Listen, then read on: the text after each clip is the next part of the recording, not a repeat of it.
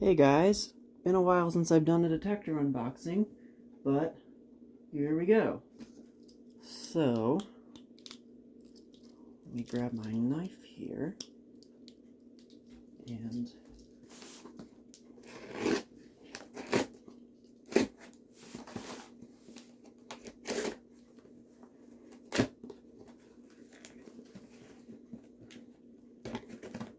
probably shouldn't be cutting it towards me. That doesn't seem like a good idea. You're still in frame. Alright, I think we're done with that. Okay. Oh, they gave me a little note. How nice. Okay. Let's see. How's it going?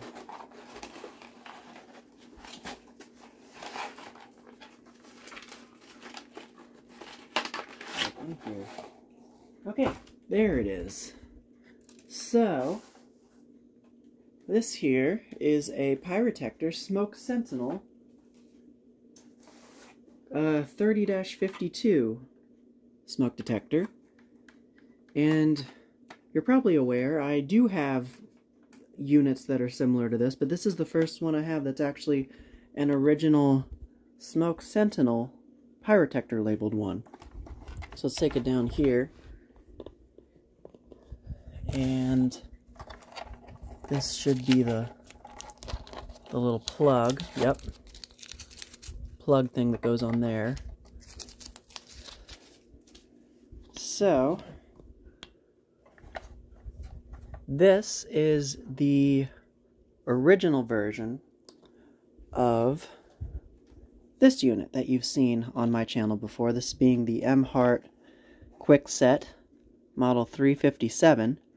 And this, of course, is the line cord powered model. But this one is hardwired. Now, um, the line cord version, I don't know if I mentioned, and I don't can't remember if I mentioned it in this video, the line cord version, originally the model number was 30-53, not 30-52.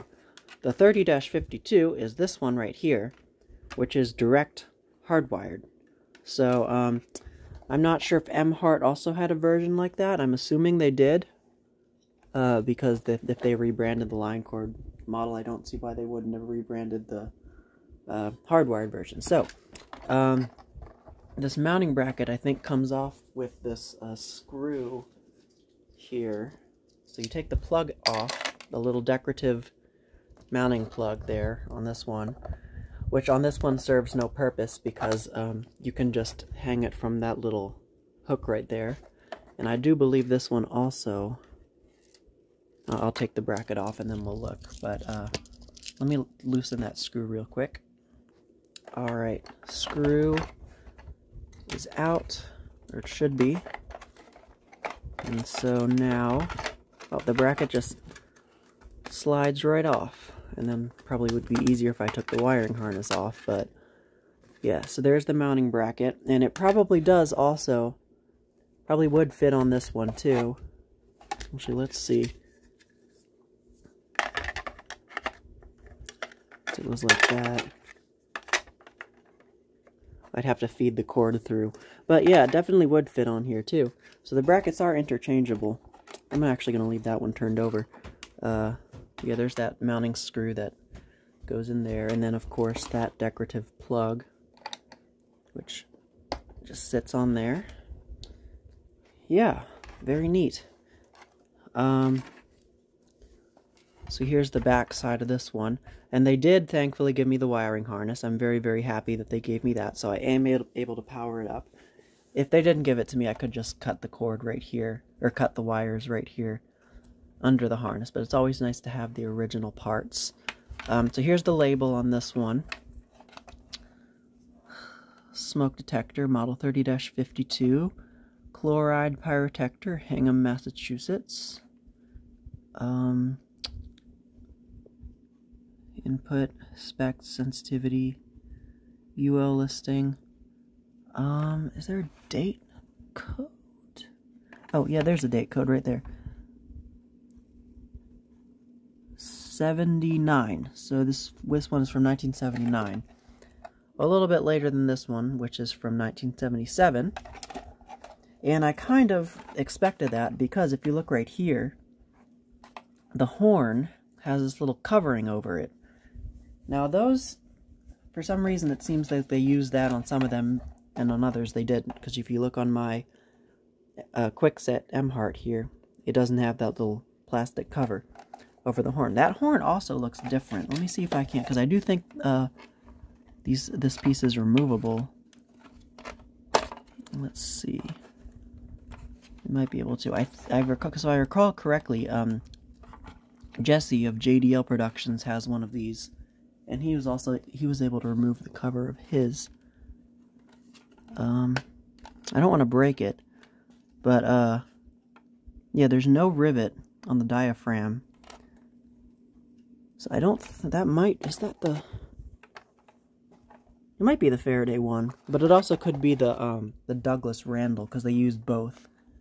Um, I think they also they also did use Delta Alarm in the earlier ones because, as you all know, this one, the uh, Pyro-Sentinel, has a Delta Alarm, but I think they only used those in the earliest ones. I can't recall if we've ever seen any of these later plastic models with uh, Deltalarms. But yeah, there's the test lever on the side, which hopefully this one's test lever works because they are known for occasionally breaking internally, I think. Um, yeah, and then of course there's the vent for that ceramic resistor, which of course this one being that it was used is a little bit discolored there from the heat. Um, yeah, other than the line cord and that different label on the bottom there, they're pretty much the exact same unit. Yeah, exact same thing. And of course, they also made a version that had a heat sensor. I believe that the heat sensor, because it was right underneath of the LED, and I think they stuck the label on like a different side. I could be wrong, though. I'm not entirely sure.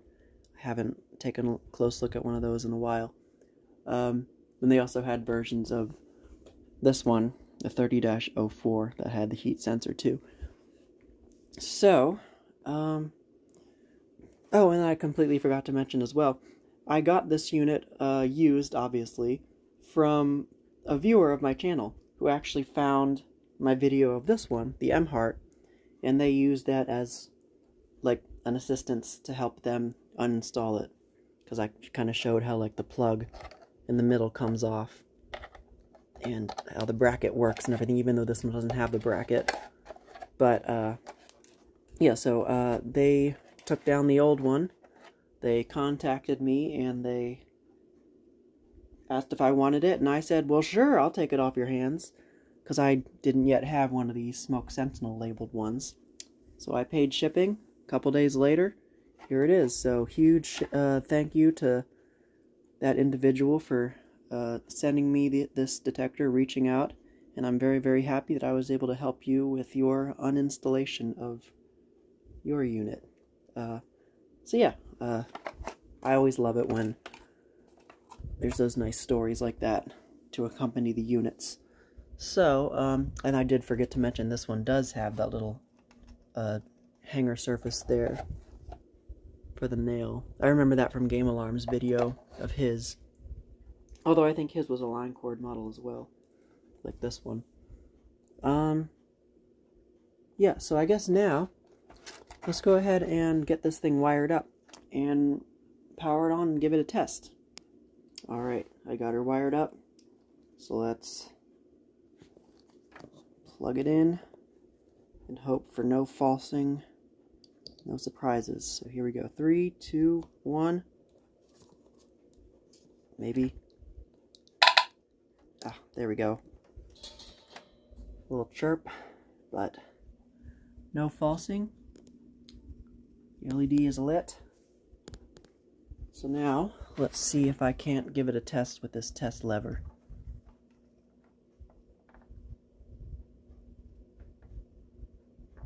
Maybe.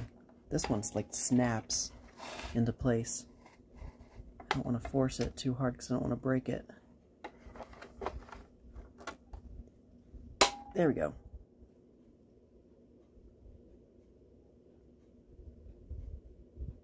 Maybe. Come on.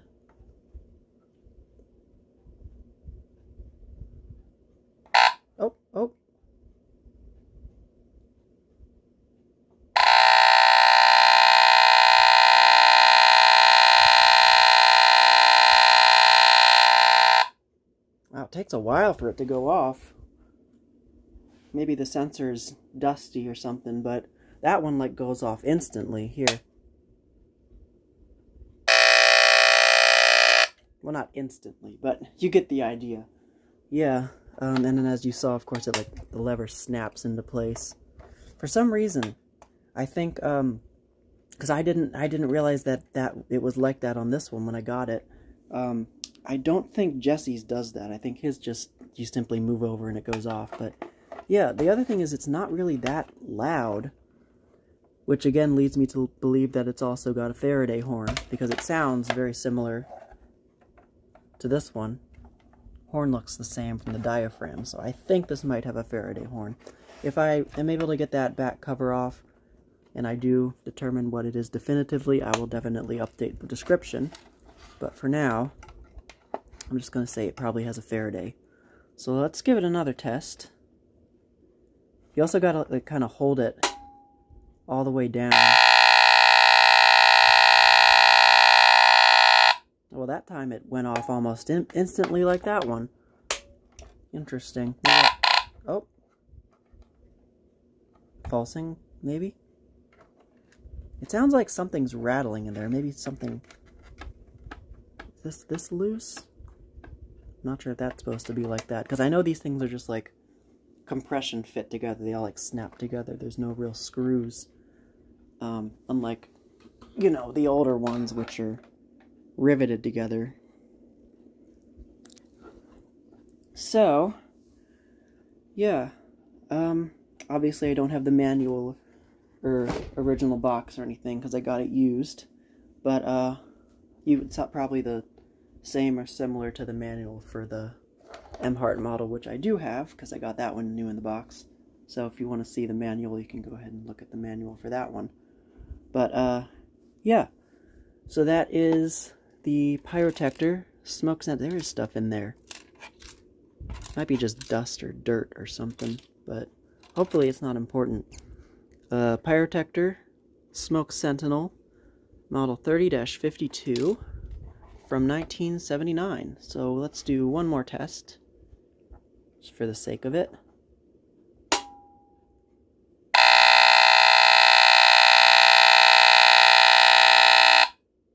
Alright, thanks for watching, and I will see you in the next video.